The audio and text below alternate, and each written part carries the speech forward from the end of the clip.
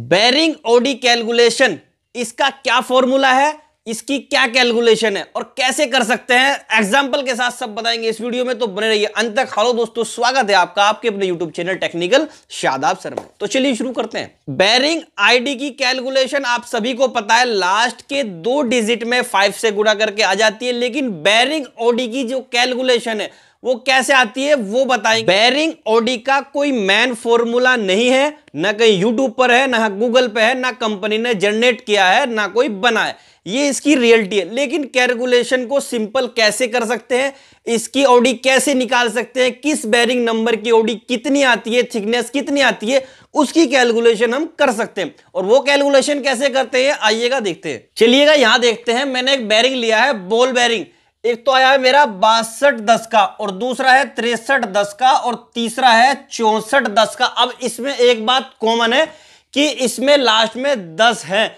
यानी कि ये मेरा दस का बैरिंग है। अब अगर दस का बैरिंग है तो इसकी आईडी सेम होगी तीनों बैरिंग की, क्योंकि आईडी बाद के दो नंबर्स में पाँच से गुना करके निकल जाती है, यानी कि टेन को अगर फाइव से मल्टीपल करेंगे तो आएगा फिफ्टी, यानी कि ये मेरी आईडी हो गई बैरिंग की। मैं यहाँ पर लिख देता हूँ, ये मेरी आईडी हो गई और ये भी 50 मेरी आईडी हो गई और ये भी 50 मेरी यहाँ पर आईडी हो गई, यानी कि बैरिंग का बोर हो चुका है। अब इसमें देखेंगे कि यहाँ पर बासठ दस में बैरिंग की जो ओडी आ रही है, ये मेरी ओडी है, नब्बे आ रही है और यहाँ पर 110 मेरी ऑडी आ रही है और यहाँ पर 130 मेरी ऑडी आ रही है।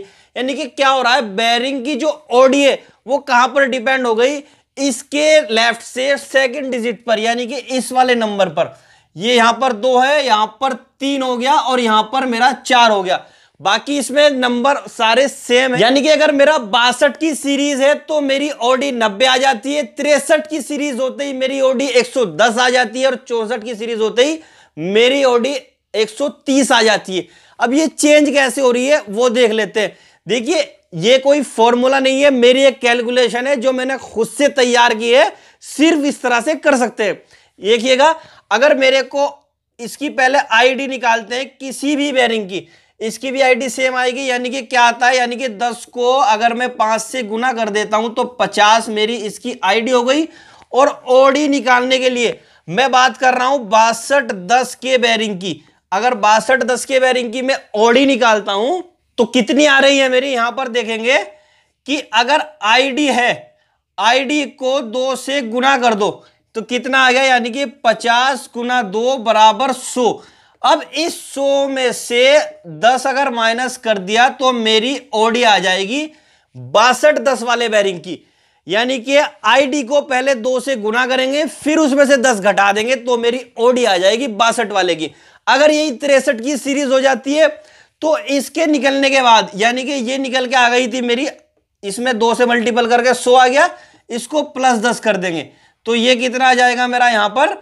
110 यानी कि ये वाली सीरीज़ आ गई। और अगर इसी में 110 में चौसठ की सीरीज़ आ जाती है तो इसी 110 में 20 और ऐड करेंगे, ये आ जाएगा मेरा 130 सिर्फ़ इस हिसाब से कैलकुलेशन कर सकते हैं, और ये भी सभी बैरिंग्स के लिए नहीं है, कुछ ही बॉल बैरिंग्स के लिए है। तो इस तरह से इसकी कैलकुलेशन हम कर सकते हैं। और थिकनेस क्या? यहाँ पर 20 आ रही है, यहाँ पर 27 यहाँ पर 31 यानी कि सीरीज़ बढ़ने से थिकनेस भी बढ़ रही है। लेकिन इसका कोई प्रॉपर फॉर्मूला अब तक नहीं आया कि जिसमें रख करके इसकी ओडी और थिकनेस निकल सके। हर बैरिंग्स का अलग अलग होती है, सिर्फ़ कैलकुलेशन कुछ हद तक कर सकते हैं।